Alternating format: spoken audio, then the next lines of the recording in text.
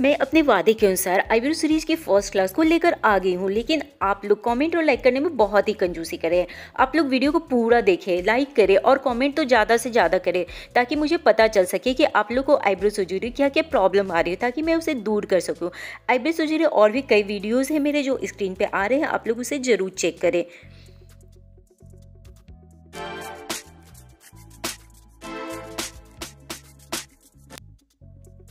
Everyone welcome back in tiger आज मैं आप लोग के लिए लेकर आ गई हूँ आईब्रो सीरीज़ की फ़र्स्ट क्लास को। गाइस मैं तो अपने वादे के अनुसार आज आप लोग के लिए आईब्रो सीरीज़ की फ़र्स्ट क्लास को लेकर आ गई हूँ, जिसमें आज मैं आप लोग को बताने वाली हूँ कि हमें क्या क्या ज़रूरत होता है। मीन्स आज का जो क्लास है वो बिगनर्स के लिए है। जो आईब्रो थ्रेडिंग बिल्कुल भी नहीं जानते, उनके लिए मैं ये क्लास और ये सीरीज़ स्टार्ट की हूँ, जिस सीरीज़ का ये आज का फ़र्स्ट क्लास है। जिसमें आज मैं आप लोग को बताने जा रही हूँ कि आईब्रो के लिए क्या क्या ज़रूरत पड़ता है। तो गाइस मैं आज आप लोग के लिए पहले से लिख के रखी हूँ। ये है आईब्रो थ्रेडिंग के लिए आप लोग को किस किस चीज़ का ज़रूरत पड़ेगा। तो सबसे पहले आप लोग को यहाँ ज़रूरत पड़ेगा थ्रेड नंबर फोर्टी और दूसरा चीज़ है जो है टेलकम पाउडर और तीसरा है एंटीसेप्टिक क्रीम ये तीन चीज़ आपको ज़रूरत पड़ेगा। साथ ही आपको है प्लग कर आईब्रो पेंसिल और सीजर सीजर जो होगा वो बहुत ही छोटे साइज़ का होगा। यानी कि इस तरह का आप देख सकते हैं। कि इस तरह का आपका सीजर होगा। और आपका जो धागा होगा, वो आप मार्केट में कहीं से भी ले सकते हैं और वो धागा आपको इस तरह के पैकेजिंग में मिल सक, मिल जाएगा आपका। ये आप देख सकते हैं, ये पिंक पैकेजिंग में आता है और एक ये ग्रीन पैकेजिंग में आता है। तो गैस ये जो होता है धागा, ये होता है फोर्टी नंबर आपके किसी भी डब्बे के ऊपर आप यहाँ पे देखेंगे कि ये आपका फोर्टी लिखा हुआ होता है। तो आपको आईब्रो थ्रेडिंग के लिए यही धागा लेना है, फोर्टी नंबर का, जो कि आप अंदर से, मैं अंदर से भी इसको खोल के दिखा दे रही हूँ आप लोगों को कि ये किस तरह का होता है। ये आपका, इस तरह से इसमें आता है और इसमें आप देखेंगे कि धागा किस तरह से पैक किया होता है, यानी कि इसका स्टार्टिंग जो होता है, वो देखिए आप यहाँ पे, इस कागज़ के नीचे दबा होता है, आप इसे इस तरह से निकाल देंगे। देखिए, ये पेपर के नीचे छुपा हुआ था। अब आप इसे इस तरह से निकाल लेते हैं तो ये आपका धागा इस तरह से इजीली निकल जाता है। इसी तरह से दूसरा वाला जो है ग्रीन कलर का, उसे भी मैं दिखा दे रही हूँ। ये भी सेम ऐसा ही होता है, बस इसका कलर चेंज है ब्रांड चेंज है।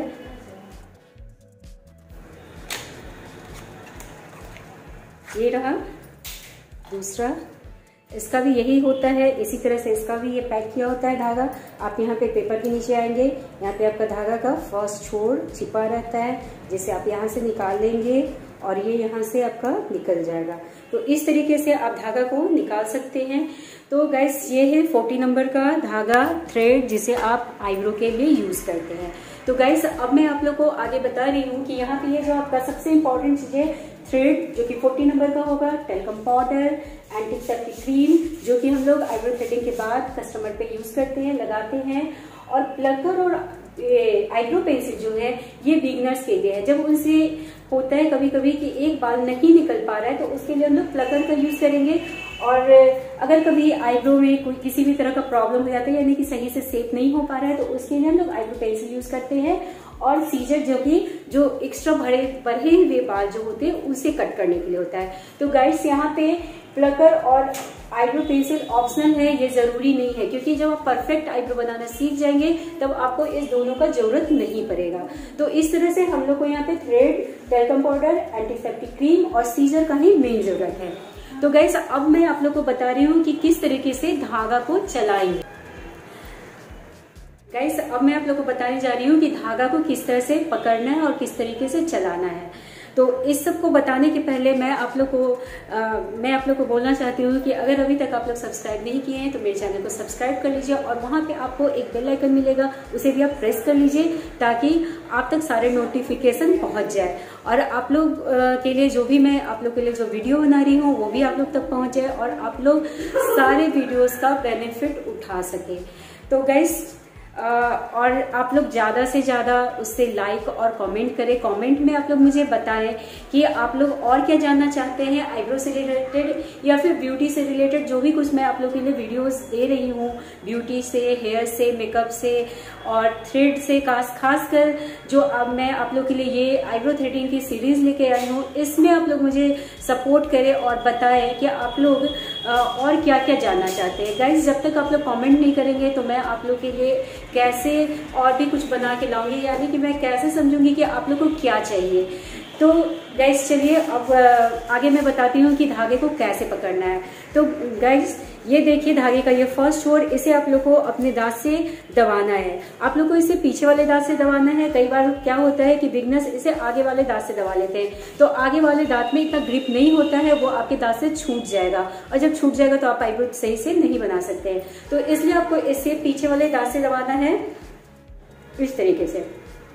और इसके बाद आपको इसे अपने हाथ में ऐसे पकड़ना है, यानी कि अपने मुट्ठी में पकड़ना है। और उसे आप इसे धारा में फिंगर्स के बाहर से इस तरह से आप निकाल लेंगे। और इसके बाद आप राइट हैंड के तीन फिंगर से इसे इस तरीके से पकड़ेंगे। मीन्स इसमें इस तरह से फंसाएँगे। और फंसाने के बाद आप ऐसे किए, और फिर ये जो थंब है, इस थंब को आप इस तरह से इसे पकड़ेंगे और इसे तीन बार लपेटेंगे। एक, दो, तीन। अब पाँच बार तक लपेट सकते हैं, इससे ज़्यादा आपको नहीं लपेटना है। और इसके बाद ये थंब को आप यहाँ छोड़ देते हैं और अब अब यहाँ पे इस थंब को इस धागे पे प्रेस करते हैं और इस तरह से आप दबाते हैं। तो गैस इस तरह से आपको इस थंब को इस पे प्रेस करना है और ऐसे चलाना है। तो गैस आपको अभी ये प्रैक्टिस करनी है कि आप धागा को कैसे चलाएँ। कई बार क्या होगा कि आपका ये धागा तो ये जो लुक है, ये छोटा हो जाएगा। तो छोटा होगा वैसे तो इसे आप फिर से बड़ा करेंगे। बड़ा कैसे करेंगे? ये छोटा होगा। फिर से आपको इसे ऐसे एडजस्ट कर लेना है। तो ये ऊपर आ गया। इसे खोल के बड़ा नहीं करना है। इस धागे को खोल के बड़ा नहीं करना है। आपको जब भी करना है तो इतने, इतना जो धागा, इतने में ही काम करना है। इसे ऐसे लपेटना है और इसे ऐसे चलाना है। ये छोटा होता है, इसे आप बड़ा करें। फिर फिर से इसे दबाएँ। दबाने से फिर ये छोटा होगा, फिर इसे बड़ा करें। और इसे जब तक आपका हाथ फ्रेश नहीं चलता है, तब तक आप इसे चलाएँ। अब देखिए, इस तरह का आवाज़ आना चाहिए धागे से। इस तरह का जब आवाज़ आने लगता है तो आप लोग ये समझ लें कि ये आपका धागा सही चल रहा है। उसके बाद ही आप आगे का काम कर सकते हैं।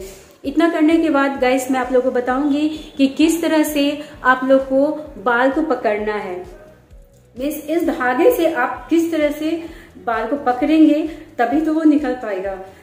तो नेक्स्ट वीडियो में मैं आप लोग के लिए, आप लोग के लिए लेकर आने वाली हूँ कि आप बाल को किस तरह से आईब्रो के बाल को किस तरह से आप इस लुक में फंसाएँगे और निकालेंगे। तो गैस तब तक आप ये प्रैक्टिस कीजिए और ज़्यादा से ज़्यादा कमेंट कीजिए। मुझे आप बताइए कि आप लोग को ये वीडियो कैसा लग रहा है और आप लोग और क्या जानना चाहते हैं और एक लाइक तो ज़रूर कर दीजिएगा और अपने फ्रेंड्स और फैमिली के साथ भी शेयर कीजिए ताकि वो भी इस वीडियो का बेनिफिट ले सके। तो गाइस नेक्स्ट वीडियो तक के लिए take care thank you bye bye